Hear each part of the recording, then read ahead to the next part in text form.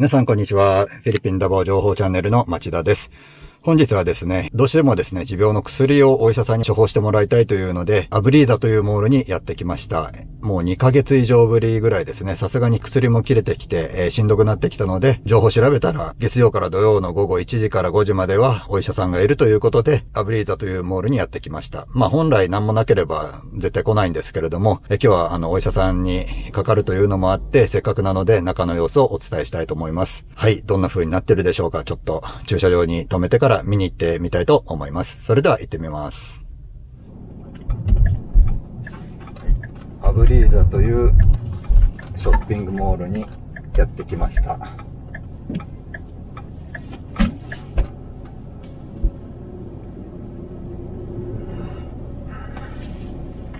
いつものように車がチェックされて、えー、中に入ります。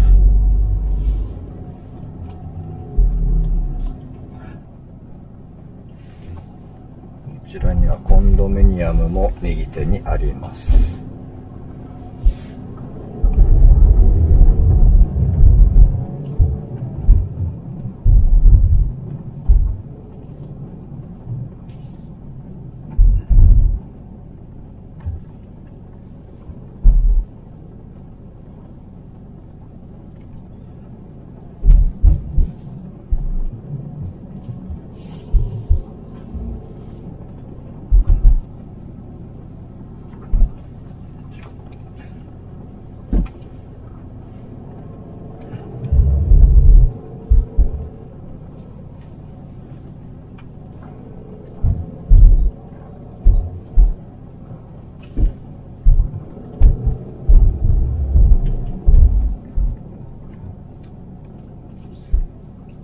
駐車場に入りますあ消毒用のシートが車用のシートが下に敷いてあってそれを今踏んで入ります。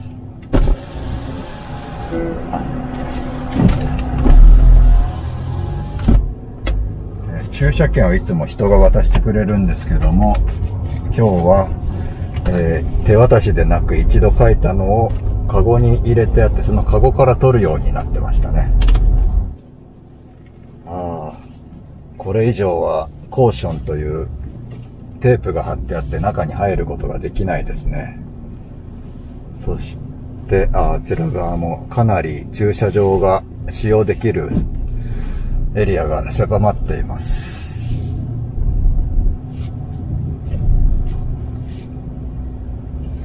してここが入り口ですね。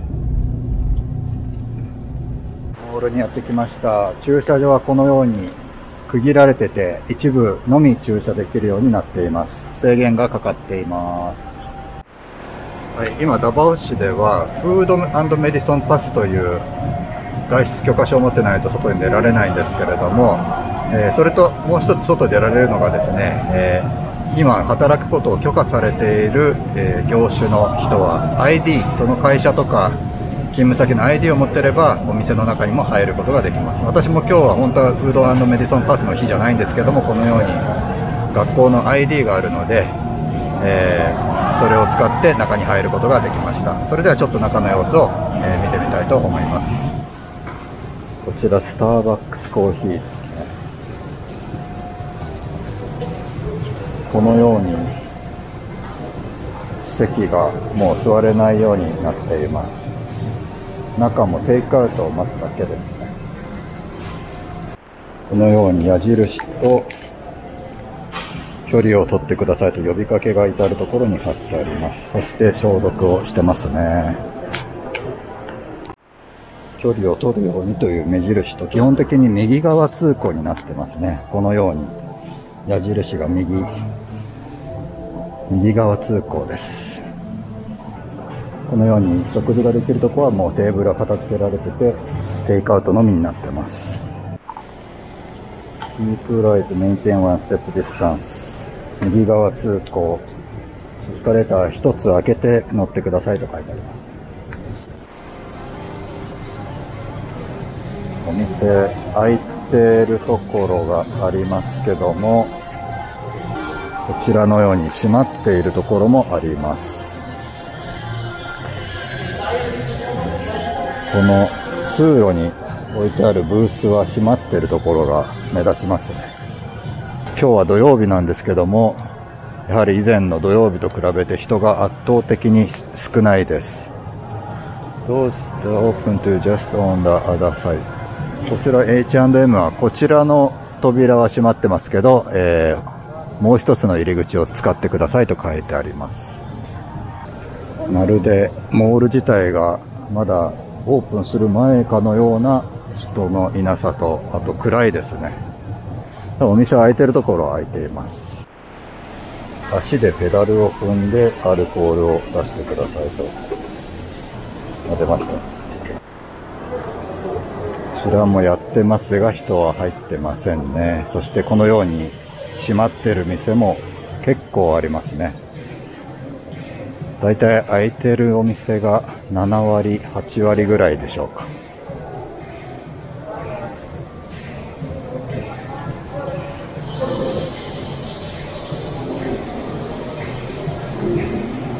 コーリアンファーニ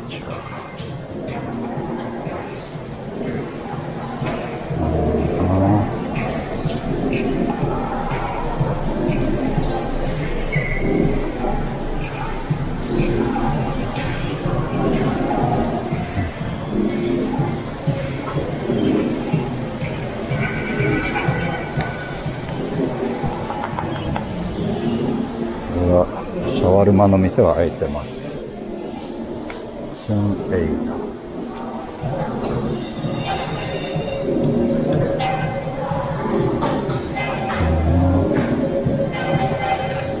こういった売店も閉まってますね。これもミルクティー屋さんですが、もう全然開いてないですね。人が入っていません。開いてるお店でも人が全然入ってませんね。本当に人がいないですね。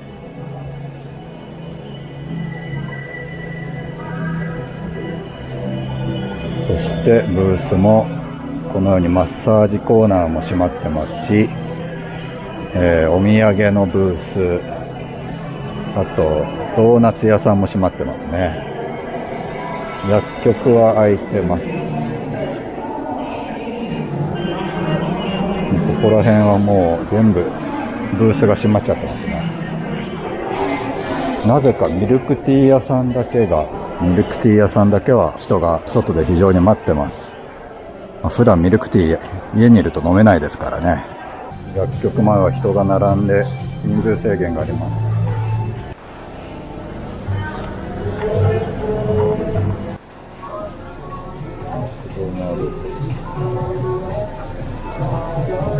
してレジの前には大きなビニールシートが貼ってあって、えお金と商品の受け取りはあの黄色い枠の中からですね、ビニール越しに行っています。えー、線が引いてあり、1メートル間隔で、え、待つようになっています。で、中は誰もお客さんがいないですね。フードパンダ用のトレイもあります。手の消毒用のアルコールが置いてあります。そしてお金の受け取り用のトレイですね。